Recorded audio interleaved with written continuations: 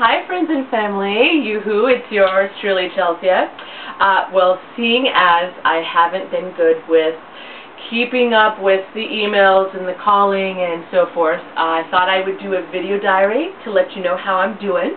Everything's doing great. I'm actually three days overdue. We're waiting for baby Ayden to pop out. It was supposed to come out Wednesday, but nature's not taking its course. So, we're going to wait another two days. And if he doesn't come out naturally by Monday, then we're going to the hospital to induce.